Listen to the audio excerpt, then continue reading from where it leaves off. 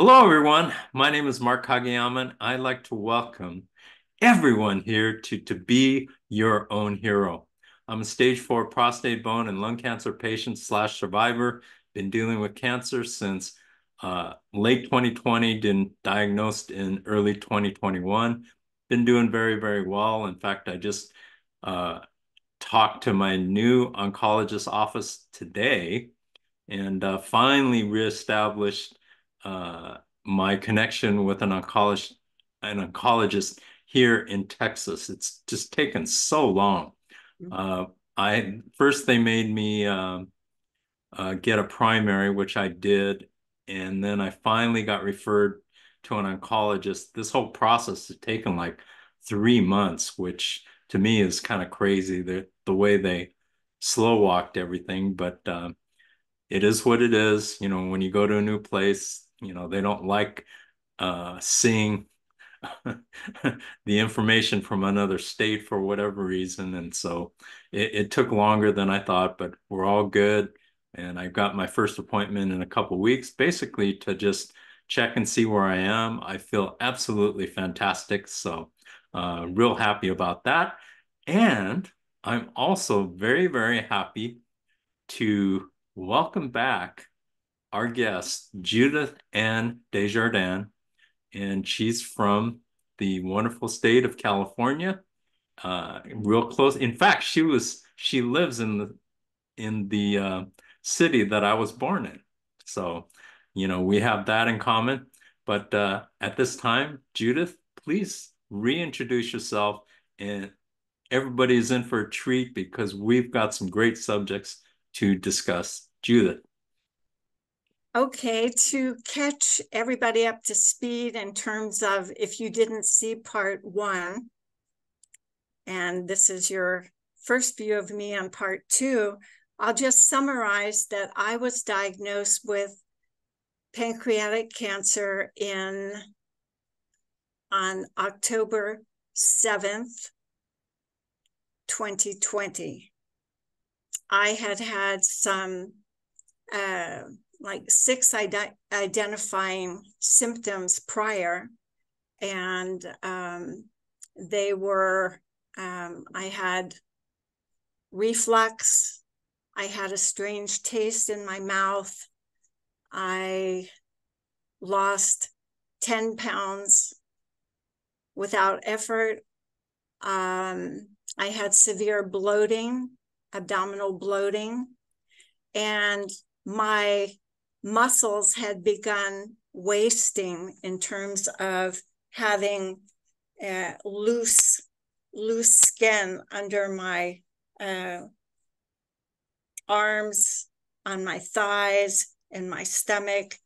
And that was very all of that those symptoms were totally foreign to me and not like my very fit active body so I ended up going to two internists who couldn't find any problem.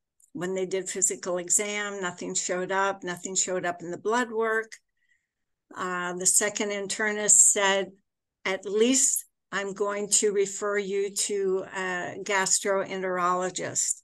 And when I went to her, she did the same physical exams and she did uh, blood testing couldn't find anything, but said, I'm going to pay attention to your symptoms, unlike the other two people who saw you. And she ordered um, endoscopy with ultrasound. And um, I think prior to the, no, that was first. And then I had a CT exam and it was 99% sure I had pancreatic cancer I had my surgery October 23rd, 2020. Wow, that was fast. So, three days yes. after you got your original diagnosis? Yes, in this particular wow. in this particular instance, UCLA was really on top of it.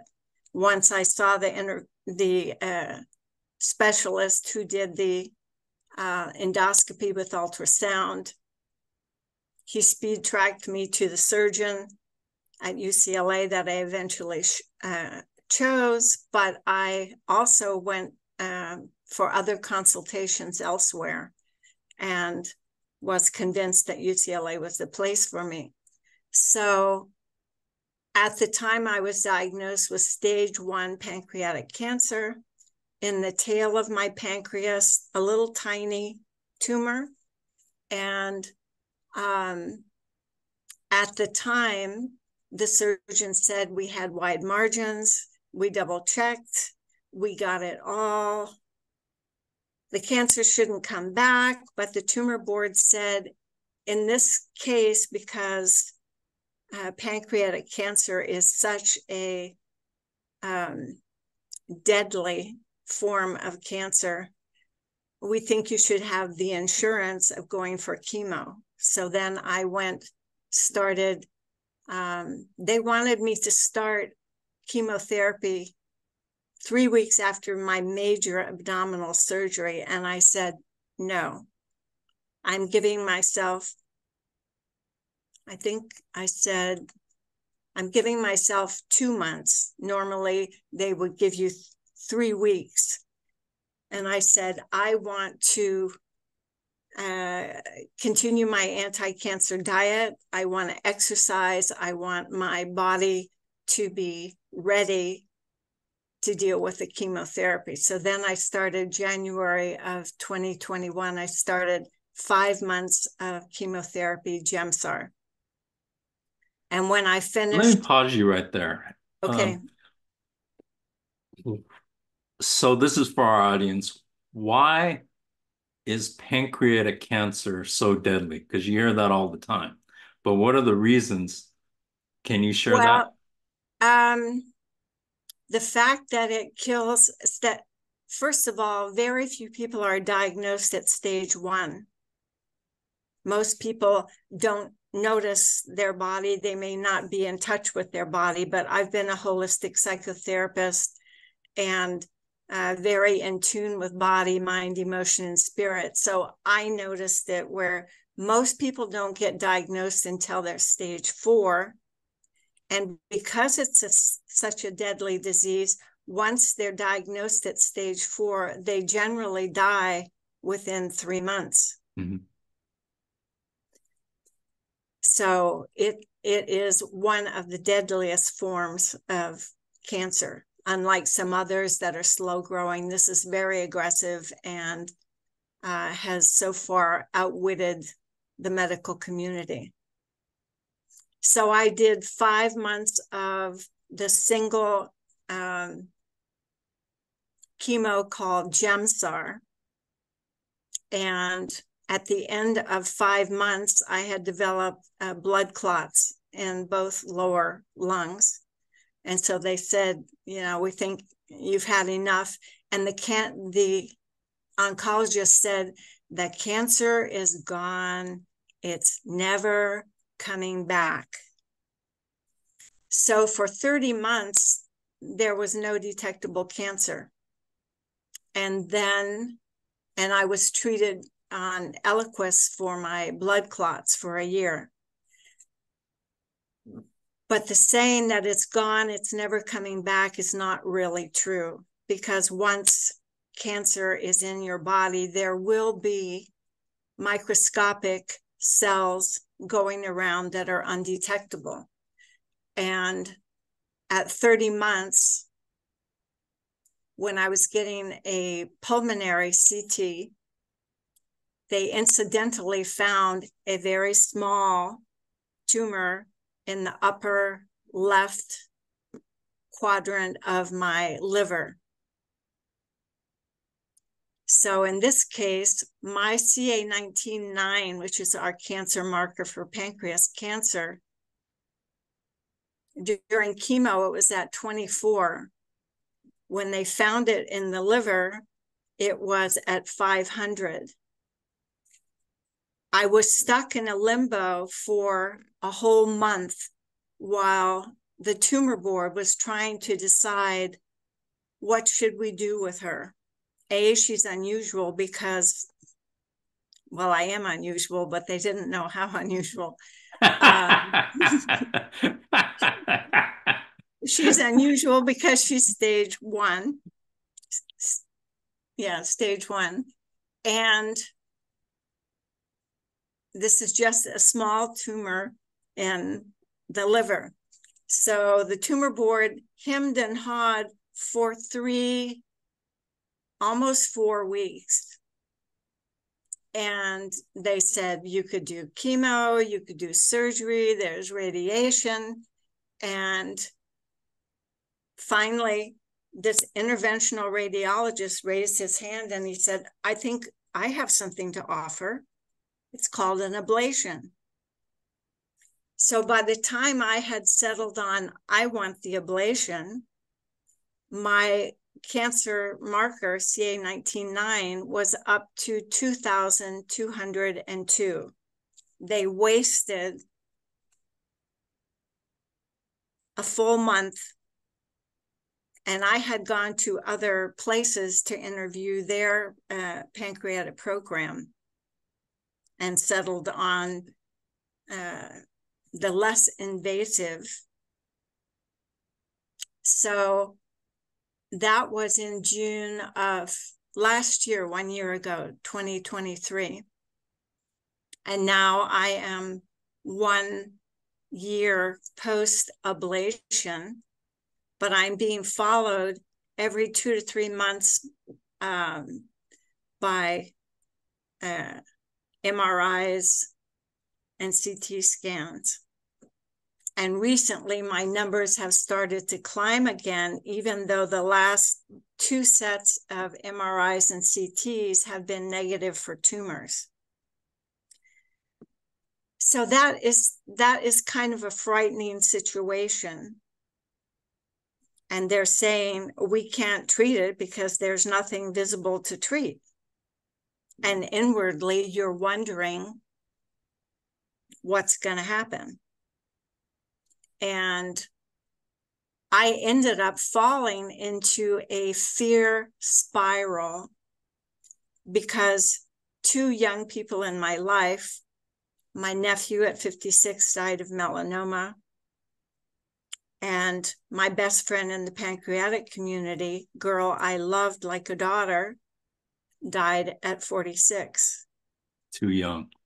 Too young, same oncologist, same regimes, but she died. And I'm thinking, so am I, am I going to die? And I saw them on the deathbed, which visually is very frightening for a cancer patient. When you, it's one thing when I was an oncology social worker in the 70s, I sat on many deathbeds and ushered the patient into the next life literally as I was there. They were halfway here and halfway seeing people and preparing for the journey. But when you've got that same diagnosis, you're treated by the same oncologist, and you see a person wasted from cancer, it's it's like a shocking visual. And that rolled me into a fear spiral that was worse than any experience I had um, during the prior four, nearly four years. As a holistic psychotherapist, I treat people with fear. I have treated cancer patients about fear, but when you are the patient, it's your body and your marker numbers are going up and you have these visuals of death. I tried every possible intervention in my toolkit in terms of prayer, meditation, journaling, art therapy, uh, talking about it, running, my anti cancer diet, all of that. But until I literally broke down before my last MRI. And while I'm waiting to go into it, I'm writing on my phone in my notes a letter to God. And I said, I'm at the I'm at the end of my wits here. I am trying everything humanly possible to live. Something is going on and I'm frightened. I'm frightened and I'm all by myself going in for this MRI. Please help me. And I must say that in the whole process of meeting the nurse who put the contrast uh, IV catheter in my arm. Her name was Angelica. And I thought, huh. she is an angel. The, the Fernando, uh, who was the tech, came in and I said, I only have two requests. Please tell me when to breathe and when I can start breathing again. I went into that MRI and I had a personal experience with God in the MRI, unlike any, and I've had too, too many to count, where I could feel the physical presence of God saying, You're okay. I'm in the capsule with you. The whole, the sounds became soothing sounds. When the MRI is beep, beep, beep, beep, beep, loud sounds at the end, I felt like I was in a rainforest. Mm. I felt it was the bamboo and then water just rushing over me. I was in such a deep state of peace that when I was finished, and Fernando said, Your breathing was very good and whatever, I said, it was the most wonderful MRI I have ever had. It was fantastic. God was in there with me. I, so that's let me how pause I wrote. you. Let me pause you right there. I, I was going to mention it earlier, but when you had those two people in your life pass away, I, I think that's a thing that really uh, affects your soul. It really especially if you're going through treatments and things like that, uh, that that leaves a lasting effect on you. I mean, I had two people that I was close to pass before I got cancer, but that left such an impression on me that uh, you just don't forget that. And uh, wow. the body has a sense memory. What you see, goes into the cells of your body and you carry that in the grieving process for the person who passed but also the fear of this could be me is in there that shock and fear and dread and anxiety is in you and it's it's very hard to release it. And if you don't release it as a, a, psychotherapist, I can tell you that it sets off a fight, flight, immobilization response where your pupils dilate, your heart beats fast, um, blood is trying to get through very narrow uh, vessels to go to your hands and feet so you can run or fight the worst thing in which I was was immobilized. Stress cortisol and adrenaline are released. So you are hyped up, which is supposed to be a temporary response to a dangerous situation. But when you're in a fear loop, it goes on and on and on. And physiologically, stress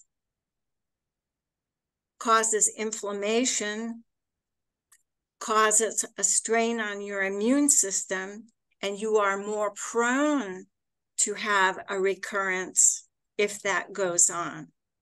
So it, it can be devastating. Right. Absolutely. I, I mean, I think it, go please go on with your story because this is fascinating as far okay. as uh, uh, where I, we're going. I was hoping that the ablation was the last thing to happen. But I think consequently to holding all that stress and grief and fear for four months, my remaining 60% of my pancreas, when I had the, the surgery, they removed 40% of my cancer, my pro, uh, pancreas, all of my spleen, eight lymph nodes. So prior to this, my 60% was pumping enough digestive enzymes and insulin to help me digest food. But when my body was under that stress and my immune system wasn't working as well, I started developing the very same symptoms that I originally had when I was first diagnosed with cancer, which scared the hell out of me. I don't blame you. I lost four pounds, which on my small frame was significant. I had this severe abdominal uh, bloating from under my rib cage all the way down to the lowest parts of the abdomen. I was having trouble um, with elimination. And I started getting the loose skin. And I totally freaked out. And I reached out to my surgeon because my oncologist wasn't paying attention to it. I reached out to my surgeon on a Saturday. I sent him an email. I said, I'm having the following symptoms. Something's wrong. It's probably my pancreas. They haven't found anything in scans, but I'm going to be going for a PET CT. I have two questions for you. Would you do the surgery? I trust you and you know my body. Two, how fast can you do it? Because I don't want to get stuck in that limbo again of nobody can make a decision. Mm-hmm. And he said, Have you ever thought of pancreatic enzyme replacement therapy. And I said, no, nobody in four years has ever talked to me about that. So I went back to my oncologist and said, I want to start pancreatic enzyme replacement therapy. And and he said, well, you could do that, but if you only have bloating, this kind of bloating one week out of three in a month, that's not so bad. And I jumped up and I said, This is my body, and it's absolutely unacceptable. It's totally painful, and I want those pills. And I said, I also want a referral to the uh, pancreas specific um, dietitian nutritionist. And again, it was like, well, you don't. And I said, I want it and I want it soon. And you're bringing up a great point right here is it's not your doctor's life. It's your life. And and the more that you show that you're fighting for your life, then they're more willing to comply. Otherwise, you, they want you to fall in line, you know, act like your number and and do what you're told. And, and that's no, beautiful. They that's... they they know in the UCLA system, I am very assertive. That's awesome. Um, when I was visiting my my dear friend who was in the process of dying and she said you know, what do you do when the doctor doesn't come and visit you at the hospital? I said, I bug the shit out of them. I keep calling until they have to do something. No, they're not your friend. God and I are the head of my treatment team, and each of these specialists are on my team but God and I make the decisions, not you guys. And they're painfully aware of this. that, that is fantastic. I love that. If, if, if people out there watching this learn one thing, what Judith just said is just phenomenal, absolutely phenomenal. Uh, you are in charge of your direction. You advocate for yourself. You fight for yourself. You show that your life means everything to you. And once you show them that, your doctors, then that gives them a different impression. That gives them a different outlook on you. And uh, it, it, and sometimes it's not a good outlook. Sometimes it's like, here comes that pain in the ass. but I love and, it. And and if you have that attitude and you still do not get what you need, you change doctors. Right. There you go. A- absolutely incredible. And that that is and no matter what you are dealing with health wise, uh, that's the attitude that you've got to take. It's your health, it's your life, and you're the one who's the boss, not your doctor. As much as they want to take control and they want to be in charge, uh, you know, and, and, the sooner a person do, does that, the as the person puts their foot down and said, "Hey, say, hey, I am a person and you're going to treat me like a person, not like somebody who's just falling in line. That is awesome. And, and if people can learn that, then they're going to generally end up with a better better way of treatment. Well, I I knew that as an oncology social worker.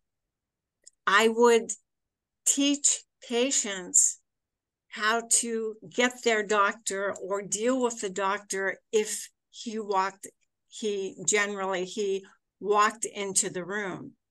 Often they would breeze in and breeze out. And and we would actually joke and say uh, was that a shadow? Did i whatever? So i would teach patients to have the doctor sit down, have questions ready to ask them. Or as the social worker, I would write in the notes this patient is feeling such and such. Please address these issues. But these days, there's no oncology social workers in the systems. They've oh. gotten phased out because it's too expensive. Mm. So when my husband was diagnosed with prostate cancer in 2011, I was ready to jump on it and be his oncology social worker going through the process. So we I knew what to do. I knew the terminology. I knew the different specialties. I knew how to get attention and whatever. And he was able to just show up as the patient because I was very proactive for asking questions, sometimes questions he didn't want even me to ask. I asked them anyway because he was under my care. and Beautiful. actually, and actually, this one time after he had his initial surgery and there was some leftover uh, prostate um, cancer, he was still making uh, high uh, PSA. We went back for one final visit with the oncologist, and we went into the small office, and there was a, a an exam uh, table right between us, and I said, "Could you sit down and talk with us. And he said, No, I won't. Wow. And I said, Wasn't it good that the Gleason score from the uh, surgical pathology was lower than what you had thought initially? And he he went off in a tyrant in terms of you prostate cancer patients are always looking for the silver lining and this and that. And don't you understand if there's a five number in there, that's what kills you? And he walked out. That was it. So sometimes being assertive will actually drive the doctor out of the room. Then you got to find another doctor. Well, we moved into radiation and had better luck. Okay. And we really lucked out when we got a wonderful oncologist who we loved, who all the patients loved at City of Hope. Oh, fantastic he was just superb and sat and his nurse practitioner sat with us and he attended the uh, stage four group and he is he signed an endorsement on the back of my book i'll actually read what he wrote because it's pretty neat what is unique about this book are the very specific recommendations on coping with cancer diagnosis directed to patients, spouses, and healthcare providers. The book is very honest, talks about the ups and downs, setbacks, fears, frustrations, but ultimately coping, faith, and hope. I recommend this book to cancer patients, their spouses, and significant others, doctors and nurses involved in the care of cancer patients, social workers, and other healthcare providers and his name is Przemysław Twardowski, medical oncologist at City of Hope.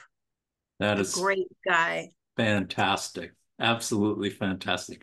Judith, we got to we have to wrap up here. Uh, we do have more to discuss, so we'll figure out what we're going to do as our next steps. But I have one final question for you. Yeah.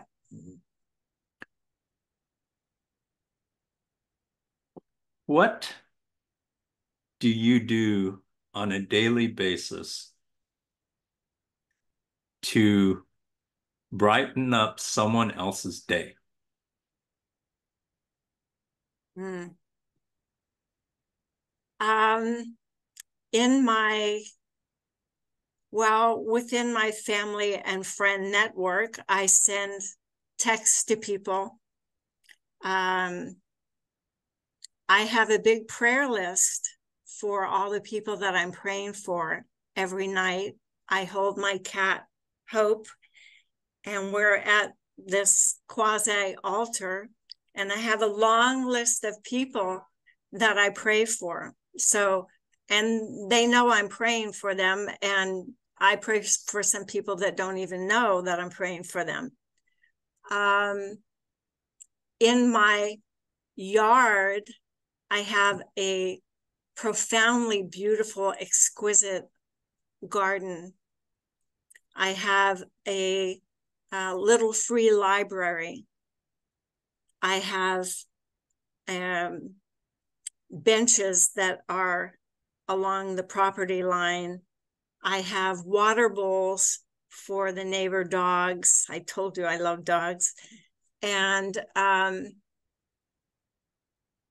I talk easily to people and I smile and there's no end to people that I meet that just come up for a hug. That is awesome. I love that.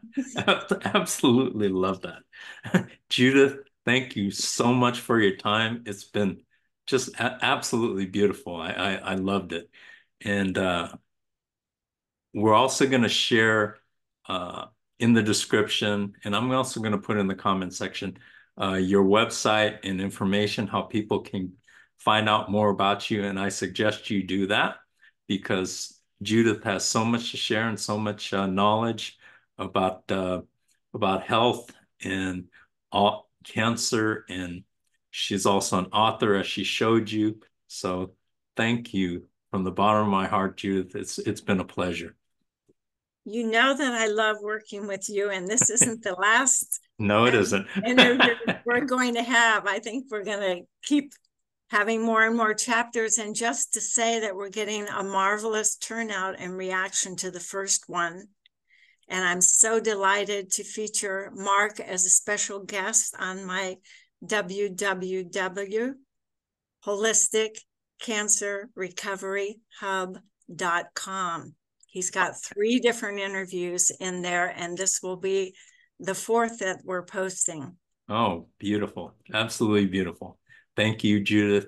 And I hope you have a wonderful rest of your day. And one I'd more like... thing. Wow. I'm going is, to share this. That is beautiful. Wow. That, that was made by my friend Amy. Um, these are roses from her garden that remind her of her mother who died of pancreatic cancer. And so I want to share them with you for that a happy is, Father's Day. Thank you. That is absolutely beautiful. Um, yeah, I'll tell so you more about my. Been, her mother has been here joining our session. We were three cancer patients together today. Wow, that that is spectacular. Absolutely spectacular. Thank you for sharing that. And thank you once again, Judith. And thank you everyone for joining us here at To Be Your Own Hero. And I hope everyone has a chance to uh, enjoy the week. Have a great weekend. And thank you for uh, subscribing to the channel if you can. Make a comment and uh, like like the video. And we'll see you next week on To Be Your Own Hero. Thank you very much.